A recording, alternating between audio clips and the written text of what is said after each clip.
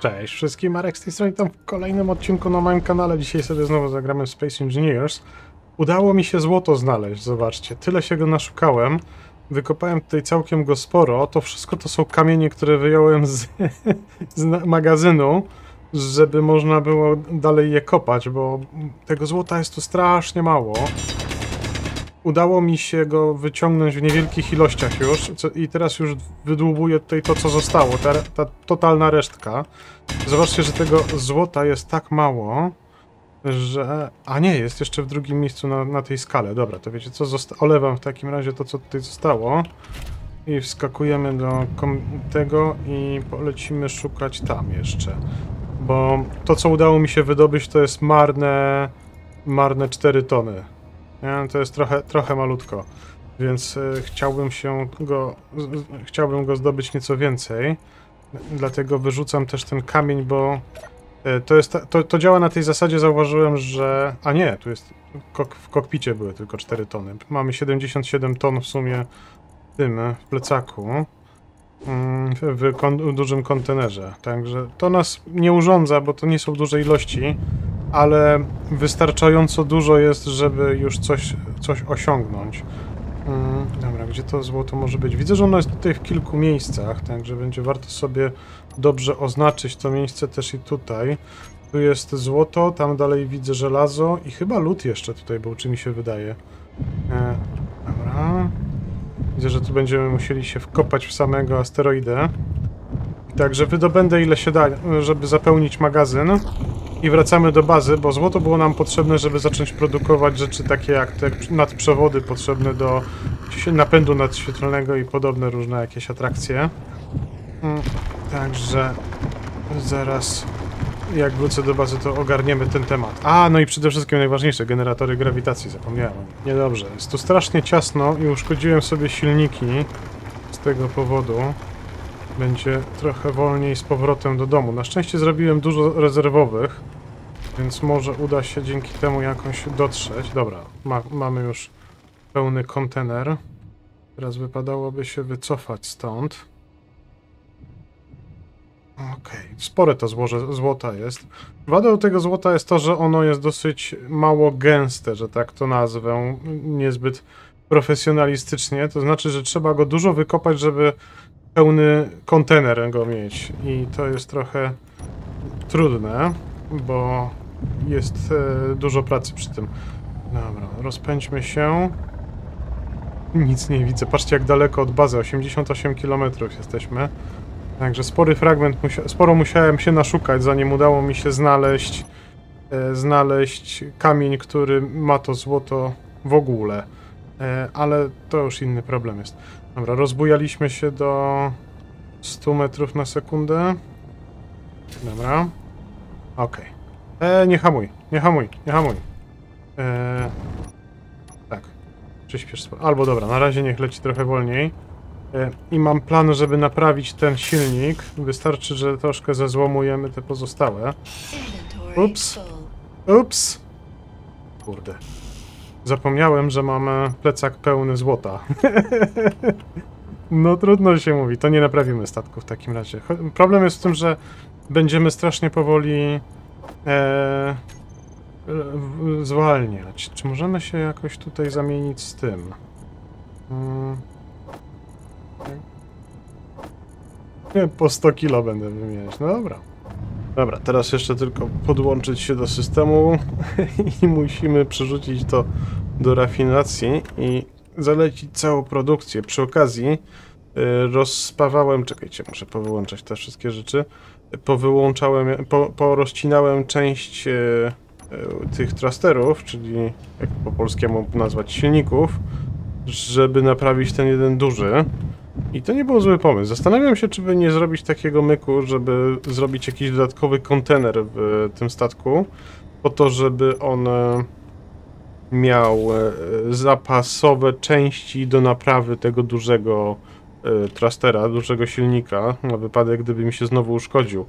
Albo po prostu, nie wiem, może jeszcze się zastanawiam, czy by nie wrócić do starego systemu i, i nie zrobić dużej liczby mniejszych silników po prostu, bo chodzi o to, że on mi się uszkodził przez to, że on jest mimo wszystko nadal dosyć długi ten statek i to powoduje problemy. Dobra, tutaj to, ten, to złoto, czekajcie, zróbmy tak, o, dobra. Nazwałem sobie duży kontener 11 i stacje montażowe też dodałem 11 w nazwie e, i w ten sposób e, łatwiej jest tym zarządzać. Rafineria widzę, że już zaciągnęła sobie te rzeczy. Dobra. Patrzcie, cały urobek praktycznie wzięła. Chociaż nie, nie, nie, bo, bo my mamy tutaj... A właśnie, w tych jeszcze miejscach. Także... Kobalt, ok. Rafineria. To skoro teraz jesteśmy tutaj już, to zlećmy sobie produkcję... Gdzie to było? Tu. Ele elementy generatora grawitacji. Nie wiem, ile ich będziemy potrzebowali. Czy ja mam tutaj już ten generator? Tak, dobra. Potrzebujemy elementów 6 tylko. Dobra, to niech to będzie idealnie. Okej. I poing. Tutaj będzie sporo takiego przekładania, bo te elementy generatora grawitacji są bardzo ciężkie i trzeba na wiele razy go... O, dobra, super, teraz będzie w końcu łatwiej można się tutaj poruszać.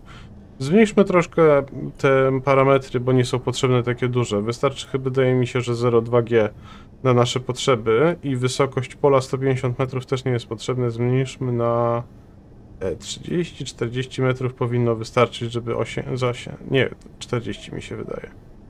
Bo jak mnie pamięć się myli, jeden taki blok ma 2,5 metra wysokości.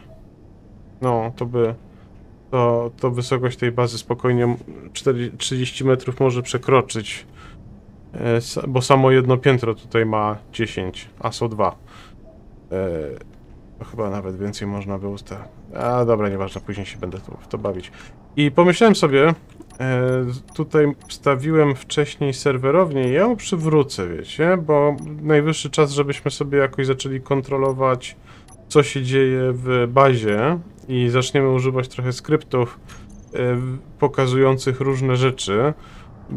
Programowalny, dobra, wstawmy sobie ten blok, nie wiem, na razie, na razie niech tutaj będzie. I przywracam tutaj ten serwer. Niech to fajnie wygląda.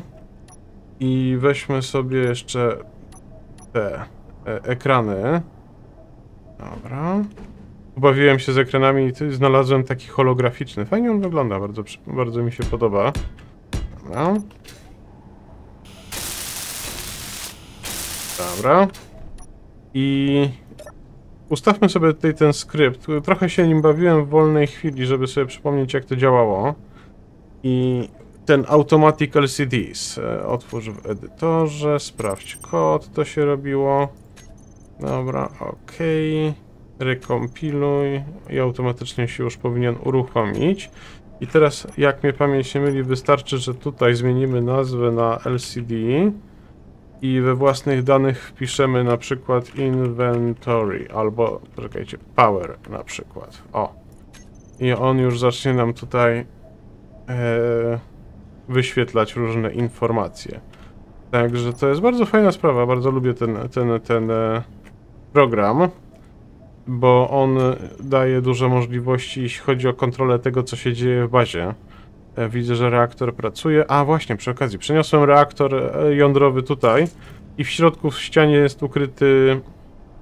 E, jest ukryty... Mm, mm, mm, jak to się nazywało? Konwejor, żeby był połączony do systemu. Co jest ciekawe, wygląda na to reaktor, że on ma dosyć dużo pali paliwa, bo zostało mu jeszcze, patrzcie, 1 dzień i 12 godzin pracy. E, co? Reak... Rea... Jest. E, I te, I te 11, go, półtora dnia pracy potrzeby, to, to daje, mamy jedynie ze 100, 130 kg uranu. Strasznie dużo pali to. Wydaje mi się, że w prawdziwym świecie reaktory tego typu rzeczy, tak, takich ilości uranu chyba nie palą, nie? Teraz sobie pomyślałem, że w tej grze zdecydowanie brakuje takiego detalu, jakim jest e, E, paliwo, e, odpady raczej, zużyte paliwo e, jądrowe i promieniowanie. To byłoby fajną sprawą, gdyby w tej grze było coś takiego jak promieniowanie uwzględnione i, i odpady, z którymi musimy się zająć, żeby, żeby nie e, no, w, jak w jakiś sposób bezpieczny na przykład pozbywać się tych odpadów, nie? I, I w miejscu, gdzie jest ich zbyt dużo, żeby się nie dało przebywać. O, właśnie, przy okazji, teraz jak już mamy złoto, to sobie zlećmy naprawę tego ustrojstwa. Silni... No, gdzie jest to? Pewnie jest jednym z tych. O, dobra. Super. I... Co jest? Już mamy elementy silnika. Ale ja, ja nie mogę, ciągle się mylę. E, przeniosłem je do tego małego kontenera, a nie do swojego plecaka. Dobra. A, nareszcie, już mi to nie będzie dymiło. Chociaż mam plan, bo to jest strasznie mało wydajne. I mam plan, żeby zbudować mniej więcej tych rozmiarów pojazd górniczy. E, nie chcę tego wykorzystywać, bo to jest e, bardzo mało praktyczne. Tutaj nie ma dużego kontenera, a chciałbym mieć zintegrowany duży kontener i paliwo rakietowe, skoro uranu mamy bardzo niewiele i nie na długo nam go starczy. E, Też nie mam możliwości na razie tutaj niczego przenieść z, tamtego, z tamtych kontenerów. Zainstalowałem sobie prostego moda na śluzy, który ułatwia życie bardzo. Co czy zainstalować to dużo powiedziane, bo ja już miałem tego moda za, zasubskrybowanego wcześniej. To nie jest nic nowego. No, nazywa się po prostu Airlock Block, bez jakiegoś szczególnego kombinowania tutaj i teraz wejście wygląda dużo przyjemniej do bazy. Y, Znalazłem fajny program, y, który chciałbym wykorzystać. A, widzicie te światła? To zaraz wam wyjaśnię, co z nimi chodzi. Który chciałbym wykorzystać w naszym y, narzędziu do kopania, bo mimo wszystko tego małego statku do kopania cały czas nadużywam do różnych rzeczy. Gdzie ja tym razem mam blok programowalny, bo znowu... Aż kurde, no... A, i zainstalowałem Build Vision też mod. Bardzo fajny jest. E, Dzięki za polecenie, kilka osób polecało. W, I... O, tak to się nazywa. I to jest strasznie fajna rzecz, bo to pozwala na otwieranie takiego dodatkowego menu z ustawieniami. I jak sobie zbudujemy coś, na przykład dajmy na to taki wyświetlacz. Aż kurczę, gdzie ten wyświetlacze są? Dobra. To możemy, nie musimy szukać w tym menu rozwijanym, nie, tutaj, gdzie ten wyświetlacz jest, który zbudowaliśmy, tylko wystarczy przytrzymać Ctrl i scrollem do góry wybrać sobie y, i wtedy otwiera się takie men- menu, w którym możemy sobie zmieniać ustawienia tego, tego y, bloku, co jest niesamowicie praktyczne, bo pozwala to na łatwe dotarcie do tych informacji. Nie ma tak jak. To jest szczególnie praktyczne, kiedy się ustawia lampy.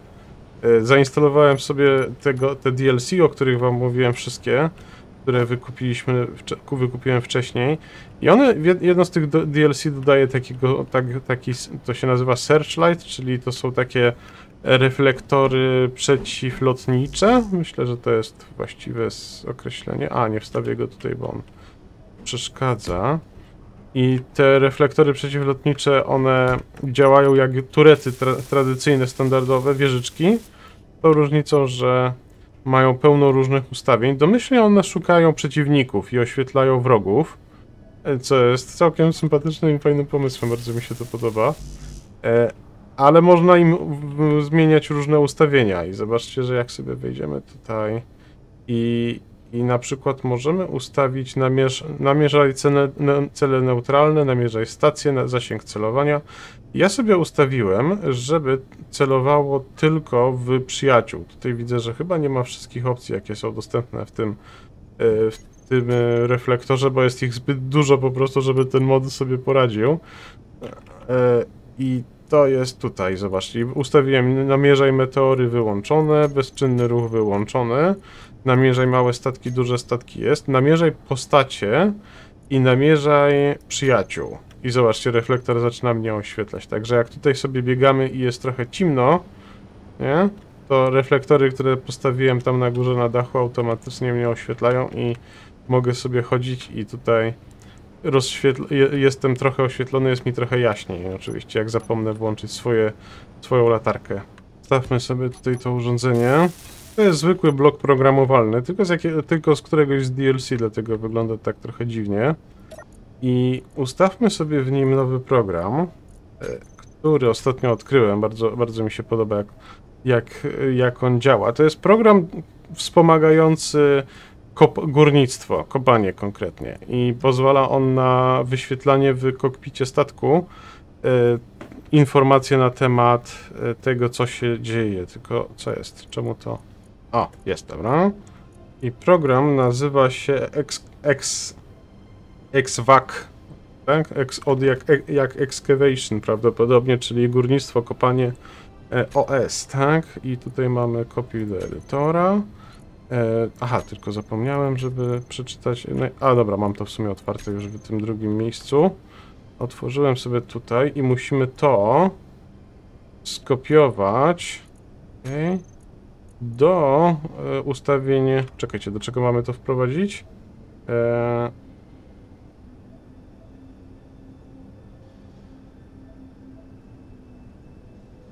e, you need to tell Xcode with screen to use the... Dobra, czyli to musimy wstawić, jak mnie pamięć nie myli, tu? Tak? A, dobra, już weszło. No.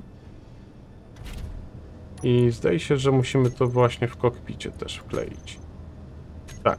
I po wklejeniu tego w, we własnych danych kokpitu, w którym się znajdujemy, zobaczcie, automatycznie się włączył, yy, włączył interfejs tego programu i on będzie nam wyświetlał szczegółowe informacje o tym, ile jakich materiałów mamy, co jest moim zdaniem super, yy, bo pozwala to na Yy, czekajcie, klawiatura na środkowy, prawy. A, a gdzie jest numpad? Okay.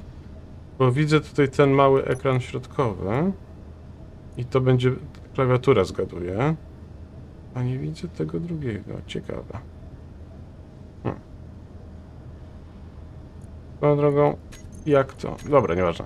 Później się będziemy bawić. W oryginale to jest pomarańczowe, tutaj wszystko jest domyślnie, w domyślnych kolorach, tego nie zmieniałem.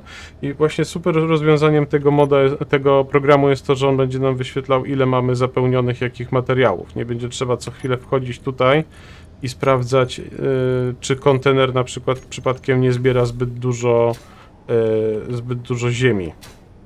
Tylko czy zwykłe te potrzebne materiały, które, które chcemy mieć są dostarczane. E, dobra. Tutaj chciałem dokończyć jeszcze to.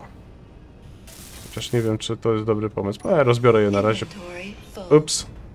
Potem, potem postawię je bardziej, w bardziej przemyślany sposób. I tak, trochę sobie tutaj poklikałem i zmajstrowałem takie to, to ustrojstwo. E, chyba będę musiał go trochę przebudować jeszcze. To jest plan na zbudowanie nowej wiertarki tylko trochę większej, której celem będzie pozyskiwanie zasobów w nieco większych rozmiarach. Tak się zastanawiam, czy te silniki rakietowe w takich ilościach wystarczą. Ale najwyżej go będziemy przerabiać, jak już, będzie, jak już się okaże, że, że nie wystarczą. Dobra, trzeba by jeszcze wejście do niego zmontować. E, tutaj nie ma wierteł na tych rogach, ponieważ przeszkadza podłoga. Trochę źle to wstawiłem, nie, nie, nie, nie, naj, nie najlepszy sposób. I jak już to wszystko wyspawam, to po prostu wstawiam, tu, tu wstawię te wiertła, tylko one w tej chwili muszą być, musi być tutaj cokolwiek, więc wstawiłem tutaj bloki transportera, żeby można było e, funkcjonować jakkolwiek. Czemu tutaj zabrakło silnika? A? I tutaj nie ma, jeszcze sobie teraz uświadomiłem wejścia do tego statku. Bo pierwotnie miało być z tej strony, ale tu silnik przeszkadza. Zróbmy to wejście tu. A? I wstawimy sobie po prostu zwykłe, najzwyklejsze drzwi. Czekajcie, wezmę tylko kolor z tego. O, w ten sposób. I plan jest taki, że tutaj będzie taka maleńka, maciupeńka przestrzeń do, dla pilota. Tu będzie kokpit oczywiście. Tu mamy stację Survival Kit, żeby można było sobie na początku, żeby można było regenerować sobie różne rzeczy, e, parametry. Mamy duży, duży cargo kontener. Chociaż nie wiem, czy to jest sensowne, żeby był duży, bo... Chociaż... Dobra, niech będzie duży. Bo chodzi o to, że te duże mają tak ogromny rozmiar, że jak on będzie pełny towaru, to my się w ogóle tym statkiem nie ruszymy. E, tu jest generator spalinowy, jest bateria, to tutaj, tak? Tak. E, tam w środku jest generator, zbiornik na wodór. Dałem mały, bo wydaje mi się, że powinien wystarczyć. Ja, najwyżej będziemy kombinować i ewentualnie na przykład zamienimy ten mały zbiornik na wodór na dwa małe kontenery, a to duże zamienimy na e, zbiornik na wodór duży i wtedy to będzie miało może więcej sensu. Zobaczymy. Dwa żyroskopy zrobiłem, bo, bo przy tej konstrukcji były potrzebne w pewnym momencie. Mm, Tutaj mamy generator tlenu jeszcze wstawiony, oczywiście łącznik yy, i tak na bezczela przyspawane silniki wodorowe bezpośrednio do dużego silnika. Ale zastanawiam się, czy by tego nie rozwiązać podobnie jak pierwotnie planowa- było w, temtem, w tamtym statku, czyli po prostu dużo małych silników skierowanych w tamtą stronę, bo taki jeden duży bardzo łatwo jest uszkodzić, chociaż zobaczymy jeszcze jak to będzie w praktyce wyglądało. Dobra, biorę się za spawanie, bo to zajmie sporo czasu. Miałem swego czasu kiedyś drugie konto do, na Steamie, na którym miałem e, Space Engineers, e, ale nie mogę go sobie znaleźć nigdzie, wyobraźcie sobie. Nie mam pojęcia, co się z nim stało i nie mogę go teraz odszukać, żeby użyć go jako e, jak do nagrywania za zewnętrzną kamerą timelapsów. Speedlapów ra raczej, tak? Czy nie, nie pamiętam. Nie pamiętam, jak to się nazywa. W każdym razie wiecie, o co chodzi. Idea taka, żeby, żeby można było łatwo e, nagrywać właśnie z trzeciej osoby coś. E, W najgorszym razie będę musiał chyba kupić po prostu drugi raz tą grę. Trzeci raz raczej. E, Chociaż może jeszcze nie, nie jestem pewny. Swoją drogą, czy DLC są potrzebne, żeby, żeby to robić? Bo wydaje mi się, że gdzieś kiedyś czytałem, że jak jedna osoba ma DLC kupione, a druga osoba nie ma, to mimo wszystko mogą razem grać. Różnica jest tylko taka, że ta osoba, która nie ma DLC, nie będzie w stanie budować bloków, y, z które może wstawiać osoba mająca DLC. I więc jeśli to by działało w ten sposób, to by miało sens, żebym kupił jeszcze jeden egzemplarz gry do nagrywania trzecioosobowych, właśnie takich w przyspieszonym tempie montaży. To by fajnie wyglądało. E, Chociaż przy tym, jak tutaj błyskają te, te, te, te no, jak to się nazywa, te, te spawarki, to, to trochę potrafi być irytujące. A właśnie, przy okazji, dzięki za polecenie mi kolejnego moda. On się nazywa, czekajcie, czy, czy on tutaj gdzieś jest, on się nazywa Quiet Tools, czy jakoś tak? Jak wpisze się sound, o jest, Sneaky, sneaky Sounds. Dzięki, dzięki nim, e, dzięki temu modowi spawarki, szlifierki i inne narzędzia pracują po prostu ciszej i nie są takie frustrujące, bo e, ja bym jeszcze zrobił moda, który sprawiłby, żeby te błysk, błyski podczas spawania i szlifowania, szczególnie w czasie spawania, nie były tak widoczne, bo one trochę oślepiają i, i są nieprzyjemne. Ja, zwłaszcza jak się długo siedzi przy komputerze, to, to jest kłopot. Dobra. Jeszcze chyba będzie trzeba jeszcze więcej tych płytek wstawić do produkcji. Bo ten duży silnik tylko potrzebuje ich jakieś duże ilości. A nie, tylko 150, ale tutaj coś było. Nie pamiętam, który, która, które urządzenie wymaga dużych ilości tych płytek. A, żyroskop, tak, żyroskop 600, a mamy ich dwa, nie? Tak, teraz to już wygląda, trochę, trochę postępów już zrobiłem. E, Zacząłem na początku spawać po kolei każdy blok osobno, ale doszedłem do wniosku, że to jest strasznie frustrujące i uznałem, że łatwiej będzie brać po prostu konkretne materiały. I zacząłem brać po prostu cały, cały plecak na przykład samych silników albo samych elementów konstrukcyjnych i po kolei latałem po każdej części i spawałem. I wydaje mi się, że to jest lepsze rozwiązanie, bo ono e, mniej irytujące jest przy takim selektywnym wybieraniu tych wszystkich bloków osobno. E, Marzy mi się z powrotem przywrócić na nity, ale póki co nie możemy sobie na nie pozwolić, bo nie mamy dość energii. One pochłaniają kosmiczne ilości energii, a nie mamy tyle uranu, żeby można było sobie to, na to pozwolić. Plan jest taki, żeby jak już ta maszyna będzie działać, to żeby polecieć na przykład na Księżyc. Nie, to jest Mars. Gdzie to był Księżyc? I... O, jest. On wbrew pozorom nie jest tak daleko. Ten księżyc. Mo, my, moim zdaniem on jest na tyle blisko, że moglibyśmy nawet bez napędu nadświetlnego tam polecieć i, e, i pozbierać materiały, tylko w tym celu musimy mieć czym, nie? I dlatego chcę tą kolumbrynę uruchomić. E, Ale wydaje mi się, że będziemy potrzebowali więcej silników, jeśli będziemy chcieli lądować na, na Księżycu. I właściwie nawet nie lądować, tylko pracować na Księżycu, bo przecież będziemy chcieli go użyć do kopania tam. E, Także prawdopodobnie dodam po, po, po zrobieniu testów tej formie, w jakiej on jest, jak już go wyspawam. W najgorszym razie utnie się te silniki tutaj na, na po, boczne, doda się blok transportowy i, doda, i zrobimy konstrukcję w, trochę w stylu tego tutaj, żeby po prostu z jed, każdego jednego wyjścia więcej silników wystawało i w ten sposób powinno to rozwiązać nasz problem. Okej, jestem już prawie gotowy do startu, tylko nie mamy paliwa w nim w ogóle, bo nie ma tutaj silników jonowych i nie ma połączenia z resztą systemu. Zresztą nawet jakbyśmy mieli połączenie, to tutaj tego paliwa w tym zbiorniku jest na tyle, a 41%, więc nie tak tragicznie. Ale i tak polecę po prostu po lód i nie będę się tym przejmować, bo i tak się przyda. Dobra, w sumie... Ciekaw jestem, czy na samej... Czy na samej baterii byśmy polecieli? Włącz, wyłącz. No. Tak, wiem, że nie ma paliwa, spokojnie. Przełączmy tryb ładowania na... O, dobra. E, na cały dzień nam wystarczy paliwa. Dobra, to będę latać na baterii w takim razie. Lód w tą stronę, wykopię, wracam. Czemu, czemu nie ma... Czemu się, y, ekrany nagle offline się zrobiły? Mm. Dziwne. A, bo... No nie, jest ten X. Ale to dziwne. Nie ma uruchom... Dziwne to jest. No dobra, trudno. Będę korzystać na razie z innych wskaźników i dam sobie jakoś radę. Dobra, teraz powinno być trochę bardziej to zbalansowane też przy okazji. Nie chcę przyczepiać jakby co niczego do tych tutaj rzeczy, bo one będą zbyt wrażliwe na uszkodzenia.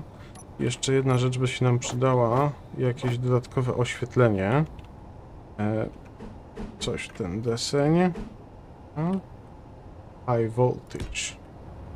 Dobra, i z tej strony również. A?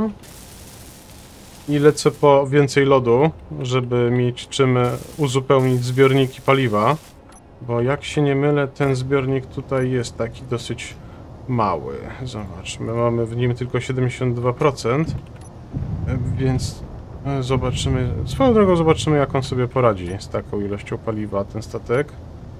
E, Gdzie tu mamy złoto lód, żelazo lód, 10 km może być, dobra. Patrzcie jak on powolutku się rozpędza. A, ja już wiem dlaczego on się tak powolutku rozpędza, bo on ma zbiornik na wodór ustawiony na napeł napełnianie. E, także wyłączmy to. I teraz pełny ciąg. Od razu lepiej. Dobra, gdzieś tutaj musi być wejście chyba do jakiejś jaskini, bo zwykle lód jest dosyć powierzchniowo umiejscowiany.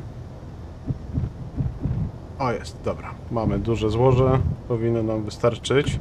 Mniej paliwa się pali, jeśli nie mamy włączonych amortyzatorów, to wtedy możemy wygodniej lecieć, mniej zużywamy, ale mimo to zużyliśmy...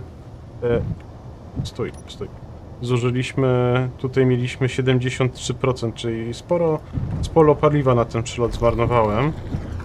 E, Szkoda, że nie ma w tej grze czegoś takiego jak limiter maksymalnego ciągu silnika. Bo na przykład mamy taką teraz sytuację, że ten duży silnik to jest dla nas zbyt dużo i nie ma sensu, żeby on z taką mocą strzelał tym paliwem i wystarczyłoby, żeby mniej tego robił. A właśnie, przy okazji, założyłem też w tym statku e, mały reaktor jądrowy. Skoro już mamy wszystkie materiały, to dlaczego nie? E, I nawet troszkę wrzuciłem do niego metalu, e, uranu, żeby, żeby sobie purkał tam i produkował nam prąd. E, Ale podejrzewam, że tego uranu mamy zbyt mało, żeby można było na większą skalę nim pracować. I dobrze będzie teraz, jak zbierzemy trochę wody tutaj, to żeby polecieć i więcej uranu poszukać. A? Jak to wygląda w ogóle z zewnątrz? Dobra. Ile tego lodu już mamy swoją drogą? Eee, duży kontener. Okej. Wygląda na to, że mamy go naprawdę dużo. 500, 500 ton. Myślę, że wystarczy. Dobra. Tutaj gdzieś był ten uran. Eee, uran srebro jest. Lecimy w takim razie w tamtą stronę teraz. I mam ustawionego moda na ograniczenie prędkości do 500 metrów na sekundę, ale nie będziemy się nigdy tak mocno rozpędzać, yy, przynajmniej na razie, potem będziemy kombinować, yy, żeby, żeby nie ryzykować wbicia się w jakiś kamień, nie? Coś się uszkodziło, czy co jest? Że tak to... A dobra, już widzę, to dymi... dy- Ta... A nie, reflektor się uszkodził. O kurde, jakim cudem. Ale dziwne. No trudno. No. Wykopię jeszcze tą plamę i wracam do bazy, bo wydaje mi się, że mamy już dość tego uranu, żeby na dłuższy czas nam wystarczyło. W razie czego to zawsze jeszcze tutaj możemy wrócić i więcej go wykopać, jeśli będzie potrzeba. Oj, dobra. Uuu, niedobrze. Bo ten, ten łącznik, ten, ten, ta rura się uszkodziła. E, A to jest jedyna rura, która przesyła do dużego kontenera zawartość wierteł. Dobra, tą, bez tej możemy żyć. O, ta też jest uszkodzona. A, a ta? Ta jest sprawna. Okej. Bo zauważyłem, że nie mogłem przeciągnąć rzeczy tutaj. Z kokpitu. I coś mi się przestało zgadzać przez to. No, musimy pilnować takich rzeczy, bo w razie poważniejszych usterek możemy zmarnować dużo materiału. Okej, o, chyba już wszystko.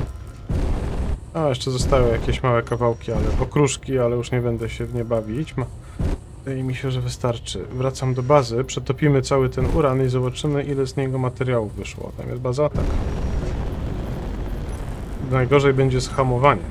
Zobaczcie, jak on powolutku się rozpędza teraz. I jak zużywamy ostre paliwo to, na to rozpędzanie.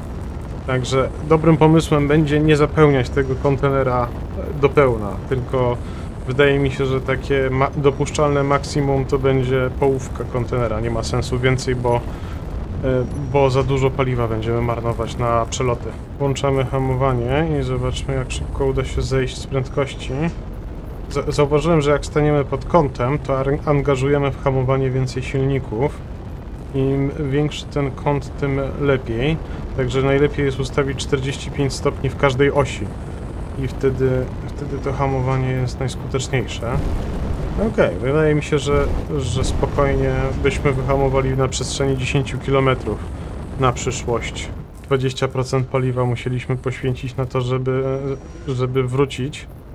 Co pokazuje, że dobrym zwyczajem będzie startować z pełnym bakiem i po drodze gdzieś szukać paliwa jeszcze, lodu, żeby uzupełniać na bieżąco, żeby nie latać z pustym.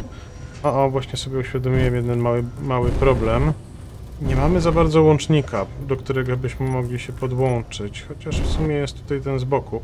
Tak, wracając do bazy, chciałem trochę pomalować ten statek i tak nie wyszło to ładnie. e, muszę zbudować Muszę zbudować jakiś wysięgnik z łącznikiem, żeby, żeby można było się do niego wpiąć, bo nie mam nic pod ręką. Dobra. Tak, tutaj sobie zbudujemy coś takiego. Mm. No. Dobra. Ups. I poprowadzę rurę tędy. Eee, o. Zamykamy. I zobaczmy. Rafineria. Widzę, że już zaciąga uran.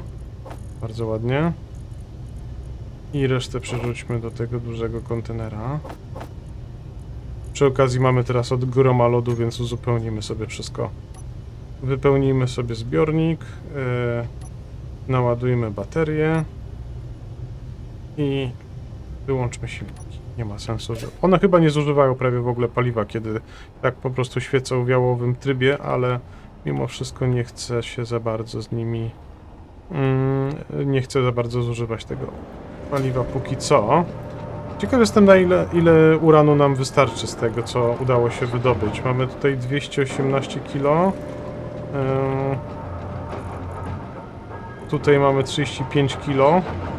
Kilo w sensie ton, nie? Kil tysięcy kilogramów. E, także myślę, że na jakiś czas starczy. Przeróbmy ten kamień w pierwszej kolejności, bo mam wrażenie, że on trochę zatyka nam tutaj ten e, system, a on błyskawicznie się przetworzy, bo to jest tylko kamień, nie? Okej, a cza, czas na mnie, bo już widzę, że mam dość materiału, żeby zmontować z tego jakiś epizod. Chciałem jeszcze tylko szybko zerknąć na tę rafinerię. Jak tutaj to idzie? Ra, rafineria, ok. A reak... Co jest? Reaktory. Tu było 5, tu było 5 jak wylatywaliśmy, tu też było 5 jak wylatywaliśmy, więc wygląda na to, że już 50 kg uranu przerobiłem. Także całkiem sprawnie to idzie. No, będziemy mieli zapas chyba do końca gry tego uranu. Wątpię, żebyśmy jeszcze potrzebowali więcej go szukać, ale zobaczymy. No, Nigdy nie wiadomo, co jeszcze mi przyjdzie do głowy. Dobra, będę kończyć na tym dzisiejszy odcinek. Mam nadzieję, że się podobało. Pamiętajcie koniecznie o łapkach w górę, komentarzu dla statystyki. Do zobaczenia, do usłyszenia w kolejnych odcinkach już niedługo. Dzięki wielkie, cześć.